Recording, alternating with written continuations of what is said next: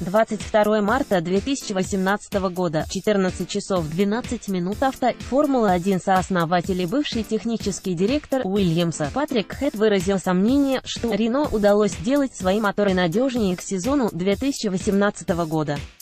Не похоже, что моторы Рено стали надежнее. В конце прошлого сезона они получали штрафы за смену компонентов силовой установки направо и налево.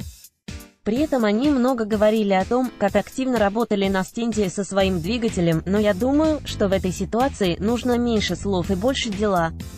Посмотрим, как все окажется в этом году. Мне кажется, что Red Bull уверен в моторах меньше, чем Mercedes и Ferrari, сказал Head Sky Sports. Источник Sky Sports сообщить об ошибке. Комментарии 0. 22 марта 2018 года, 21 марта 2018 года, 20 марта 2018 года.